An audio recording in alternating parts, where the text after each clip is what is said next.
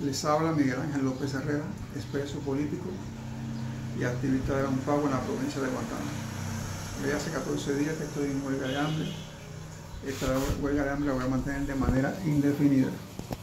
Ya siento síntomas fuertes de, lo que están de varios días sin comer y ya no puedo permanecer mucho tiempo de pie ni sentado. Permanezco todo el tiempo acostado pero mi espíritu está firme y determinado en lo que estoy haciendo.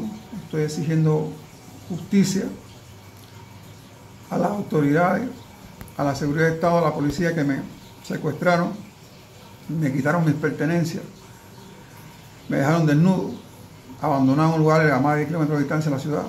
Yo sufrí una gran, sufrí una gran humillación. Estoy protestando por todo esto, estoy exigiendo que se me revuelvan los medios.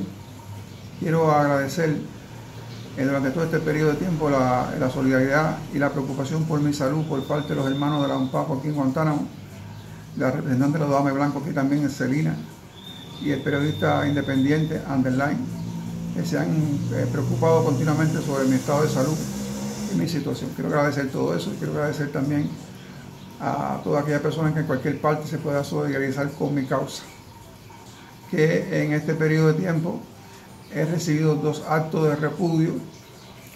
Mi familia está siendo objeto de presiones por parte de la seguridad de Estado para que yo desista de la huelga. También he llegado a unos supuestos vecinos que yo ni siquiera tengo relaciones con ellos, que realmente no les interesa ni mi salud ni mi vida, tratando de eh, supuestamente aconsejarme que desista de la huelga porque eso puede causarme la muerte o serias condiciones para mi salud. De todas formas, mi espíritu está bien firme. Estoy bien incómodo con la cosa que me hicieron. Y eso me da tremenda fuerza por luchar contra la injusticia y contra esta dictadura.